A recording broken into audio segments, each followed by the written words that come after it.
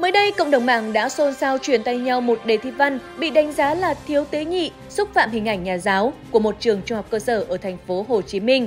Trong đề kiểm tra cuối học kỳ 1, môn ngữ văn lớp 8 của trường trung học cơ sở Cốt Lết, phần đọc hiểu có đưa ra câu chuyện có nội dung như sau. Ông thầy đồ nọ vốn tính tham ăn, bữa ấy có người mời đi ăn cỗ, thầy mới cho một cậu học trò nhỏ theo hầu. Đến nơi, thầy ngồi vào cỗ, bà học trò đứng bên cạnh, Trông thấy trong mâm có nhiều bánh trái, bụng no nhưng thầy lại muốn bỏ túi mấy chiếc. Sợ người xung quanh nom thấy thì mất thể diện, thầy mới cầm bánh thản nhiên đưa cho học trò, bảo này con cầm lấy. Vừa đưa, thầy vừa nháy ra hiệu bảo cất mang về cho thầy. Cậu học trò không hiểu được cái nháy mắt thâm thúy của thầy, tưởng thầy cho thật, liền bóc ngay ra ăn. Thầy nhìn thấy giận lắm, nhưng giữa đông đủ mọi người không dám mắng. Đến lúc ra về, thầy vẫn còn nhớ đến mấy cái bánh, muốn kiếm cớ để trả thù học trò. Khi hai thầy trò đang cùng đi ngang nhau, thầy bèn giận dữ mắng học trò. Mày là anh em bạn bè với tao hay sao mà dám đi ngang hàng với tao? Trò sợ, vội vàng đi nhanh lên trước, thầy lại gắt. Mày là bố tao hay sao mà dám đi trước tao?